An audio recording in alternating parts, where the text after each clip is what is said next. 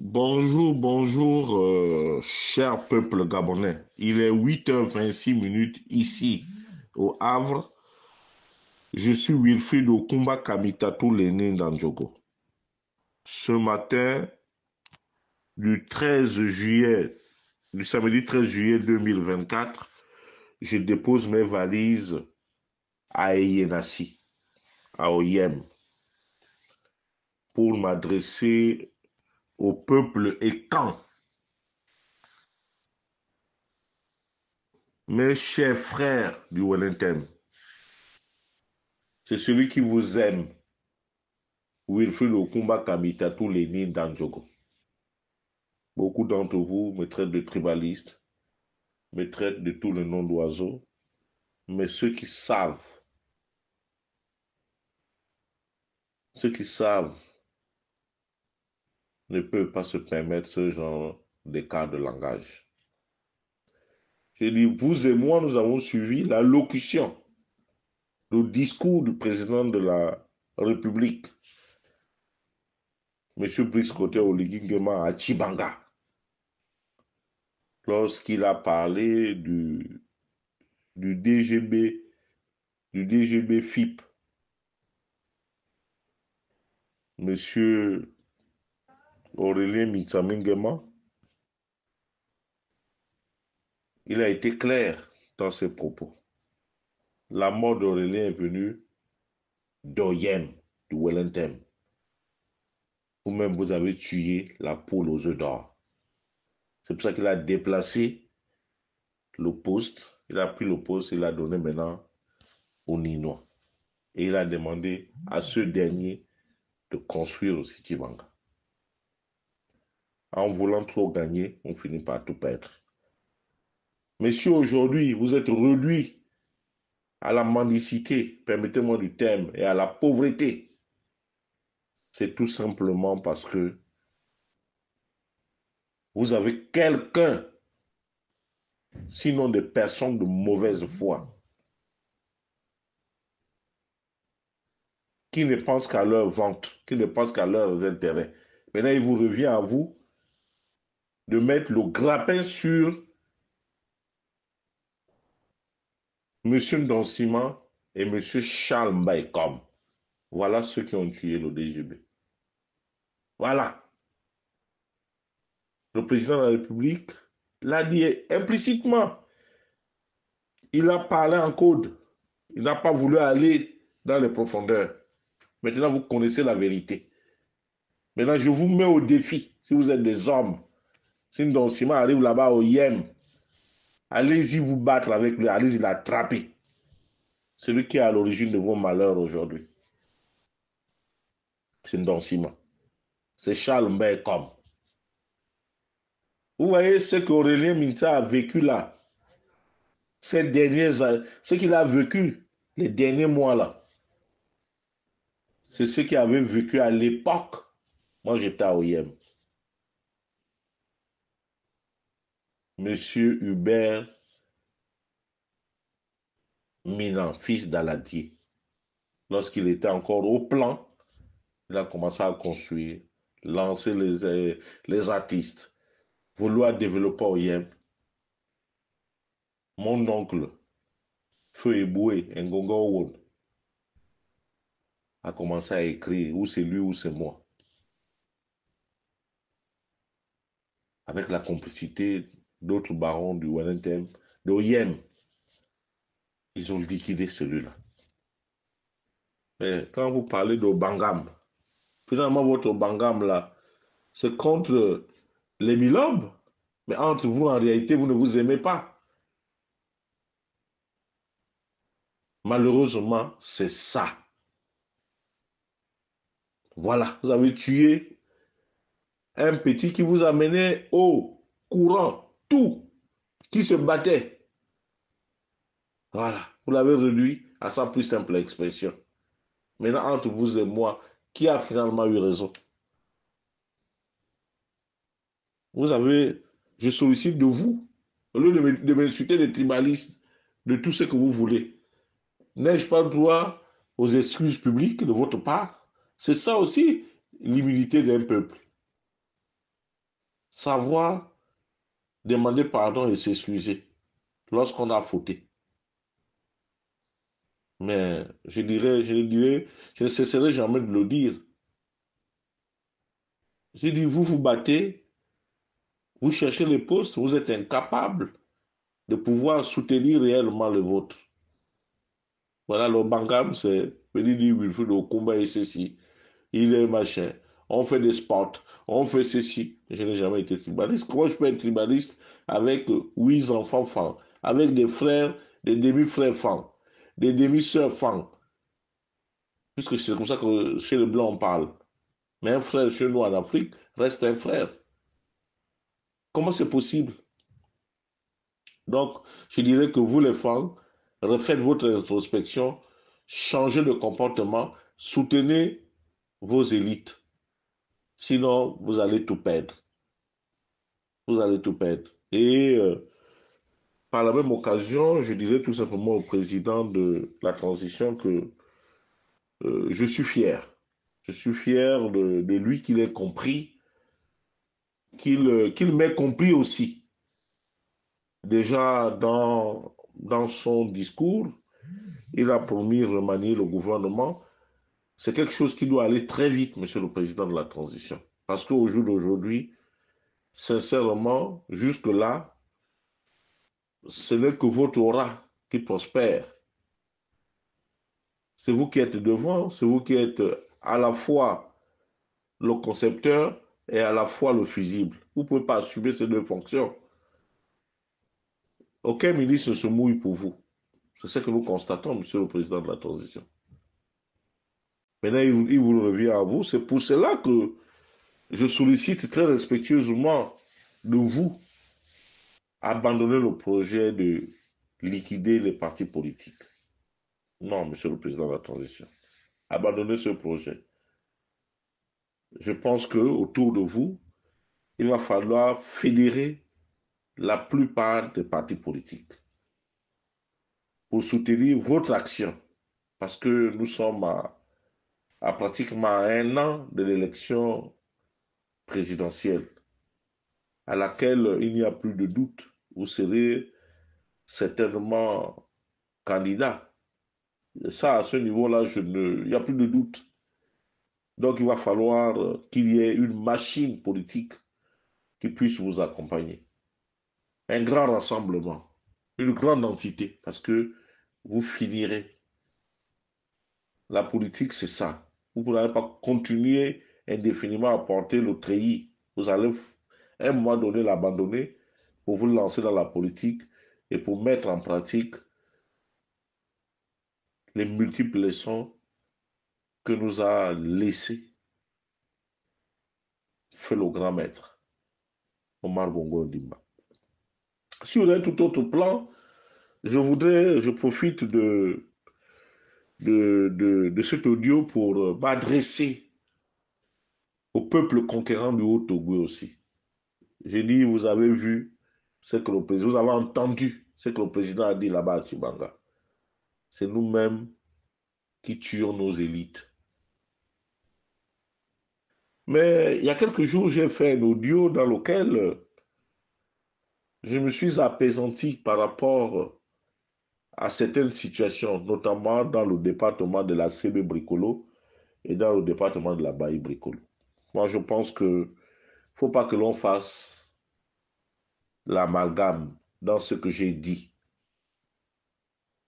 Je n'ai jamais dit que M. Jean Clary Otoumou, M. Euh, Monsieur Landry Georges Mbinga ou les autres étaient en train de préparer un complot. Je dis ce que j'ai rappelé à M. Jean Clary Otoumou, qui est un aîné, c'est de se mettre au service d'Okonja. Parce qu'aujourd'hui, ce poste-là, là où était le vieux Leyimangoy, on a vu comment M. Leyimangoy nous a gardés. Jean-Paul Feu, Jean-Paul Leyimangoy. Donc, M. Jean-Claude Toumou, vous n'avez pas d'excuses, ou bien M. Landry Georges Mbinga. Vous êtes en responsabilité. Et ce poste-là, vous les devez à son excellence, M. Brice Clotaire Oligingema, qui vous a soutenu pour que vous puissiez avoir ces postes-là. Maintenant, on retourne, M. Otoumou, Jean Clary. Qu'est-ce que nous attendons de vous? Ce n'est pas que vous puissiez nous distribuer votre salaire. Ça, c'est le fruit de votre labeur. Mais ce qu'on attend de vous, de M. Georges Landé Mbinga, et de M. Georges Landé Mbinga, c'est de pouvoir aider les Atogovéens à pouvoir avoir le maximum de place aussi dans cette banque.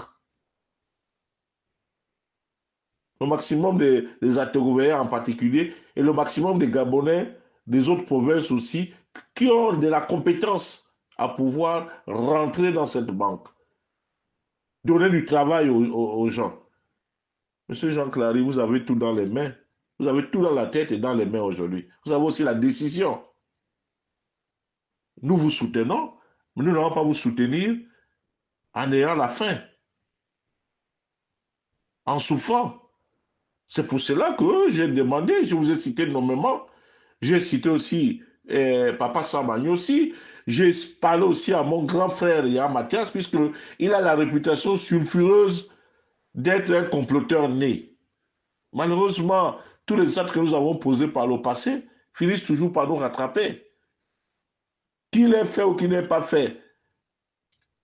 Lorsqu'on voit Yann Mathias quelque part, la première chose que l'on retient, c'est que soit il drague une petite, la petite d'autrui, soit c'est pour faire un coup.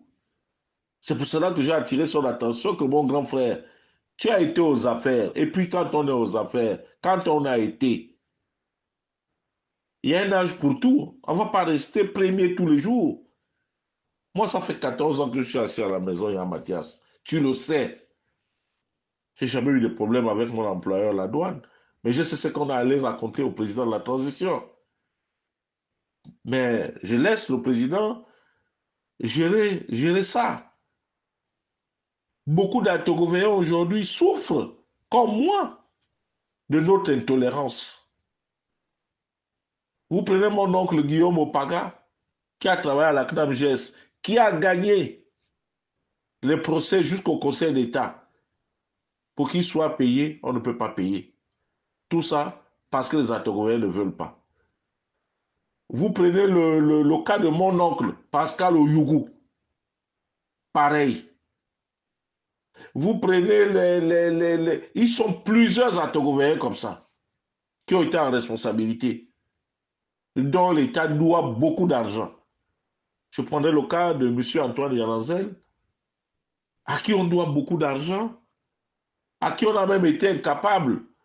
Je vous informe que M. Moutou, Moutou de la, la CNAM GS, l'ancien directeur général de la CNAM GS, a déchiré le dossier de M. Yananzel.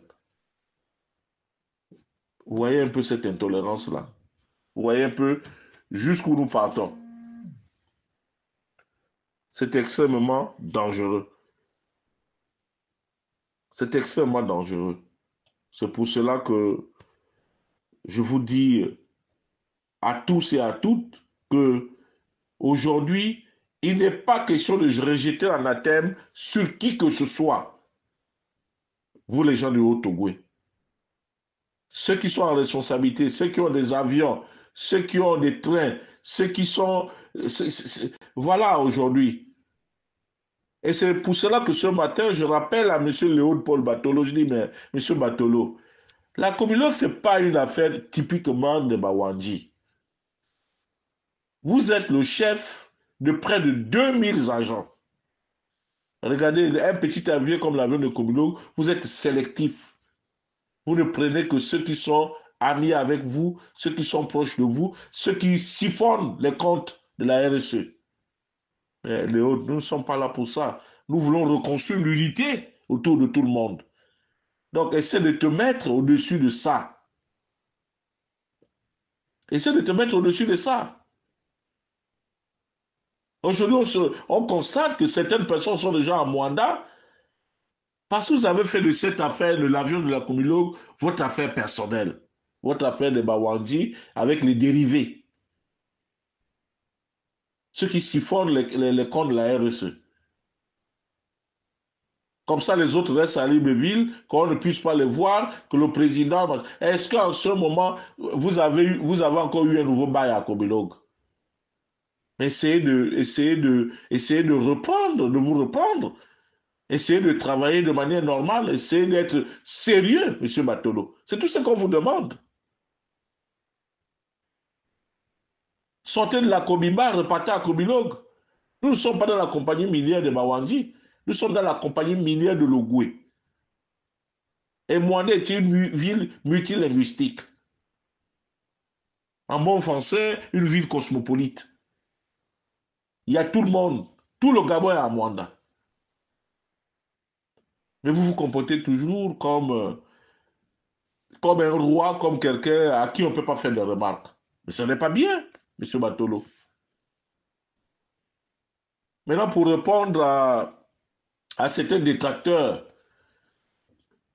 à certains détracteurs de, de ceux-là qui sont en responsabilité. Vous savez, dans la vie, il y a toujours une organisation. Et le président de la transition ne met généralement que les gens qui sont à côté de lui. Je ne pense pas qu'aujourd'hui, le problème du Haut-Togoué, c'est parce qu'on a responsabilisé M. Kalima Jano, parce qu'on a responsabilisé, M. Abeke, parce qu'on a responsabilisé M. Kabongo, parce qu'on a responsabilisé M. Oyiba, parce qu'on a responsabilisé euh, M. Baraswaga ou les autres. Ce n'est pas ça. Nous sommes dans une reconstruction, nous sommes en train de reconstruire l'unité du Haut-Togoué, donc mettons-nous au-dessus de la mêlée. Il y a des démembrements locaux qui sont en train d'être mis en place. Allez-y vous inscrire. Moi, ce que je reproche, ce que je refuse dans cette affaire de la visite du président, c'est qu'on puisse l'enfermer. C'est-à-dire que empêcher le président de voir la vérité. Et c'est pour cela que, Monsieur le Président, si vous m'écoutez, je souhaiterais que vous fassiez une visite surprise dans certains quartiers de Mounana. Prenez votre voiture, allez jusqu'à la cité cadre. Prenez votre voiture, allez-y au, quartier Silence. Prenez votre voiture, allez-y euh, à la cité Rénovation. Baladez-vous un peu dans Mounana. C'est effroyable, monsieur le président de la transition. On vous cache beaucoup de choses concernant Mounana. On vous cache beaucoup de choses. Prenez même votre voiture, allez-y à l'hôpital. Jean-Claude Androl, vérifiez. Puisque vous, vous, serez à Mwanda, ne vous contentez pas de, du programme officiel. Vous êtes d'abord un militaire. Un militaire de par sa fonction ou bien de par le caractère de, de, de le, caractère de sa, de, sa profession est toujours la personne la mieux renseignée. Monsieur le président de la transition, vous conduisez. Vous avez des chauffeurs. Prenez votre voiture. Faites le tour de Mwanda. Roulez un peu sur ces pavés-là pour que vous puissiez au moins voir la vérité. Parce qu'on occulte la vérité. Monsieur le président de la transition. Pareil à Bakumba. Essayez de surprendre les gens. Marchez dans le quartier, dites, bon voilà, moi, demandez-moi ma voiture, je vais un peu faire le tour de la ville. Vous allez voir de visu ce qu'on vous cache en réalité.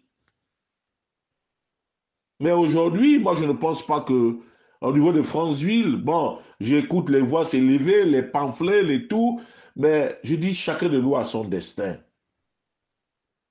Moi, j'ai vu, lorsque M. Alanzel était aux affaires, c'est les mêmes c'est les mêmes là qui continuent toujours à manipuler les jeunes.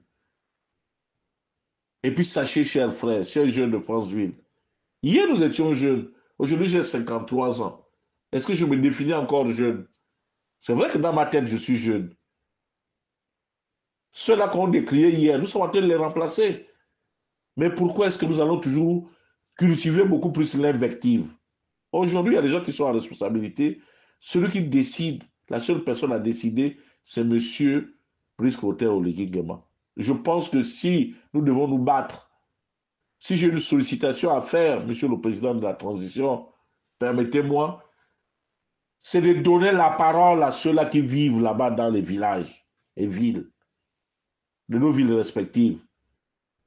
C'est pour cela que je sollicite très respectueusement de vous que le collectif qui a tant fait le bruit autour de quelqu'un que vous connaissez très bien, M. Ndaki Lamour, M. Ndaki Salamour, ou bien M. Toumbé Alain, l'ensemble, le collectif des quatre arrondissements de Franceville, vous sortez un représentant ou deux. Je veux voir comment vous allez, vous allez tomber autour de lui, vous allez faire l'unanimité autour d'une personne. Parce que chacun de vous voudra absolument aller voir le président parce que vous pensez que les choses demeurent toujours les mêmes, où on distribue l'argent et tout, tout, tout, tout. Aujourd'hui, ce que nous voulons, c'est reconstruire le Haut-Togoué, c'est d'avoir des projets agro-pastoraux,